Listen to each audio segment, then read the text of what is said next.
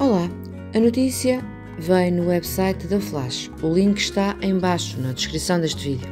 João Catarré, o conhecido ator, tem enfrentado nos últimos meses uma batalha silenciosa contra uma doença grave que o afastou dos holofotes e o impediu de trabalhar. Aos 43 anos, tem mantido um grande sigilo sobre os detalhes da sua condição de saúde, deixando apenas uma nota oficial da sua agência sem revelar a natureza exata da enfermidade. No entanto, recentemente o ator decidiu romper o silêncio nas redes sociais de maneira enigmática.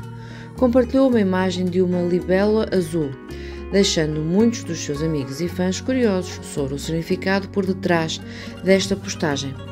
Embora a mensagem seja misteriosa, a libélula azul é frequentemente associada a temas de transformação, crescimento pessoal e autorrealização pessoal e profissional.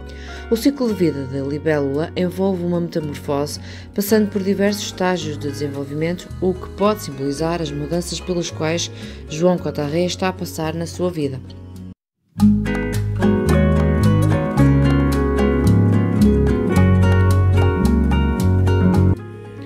Além disso, a libélula azul é frequentemente associada a um despertar espiritual e ao desenvolvimento da consciência.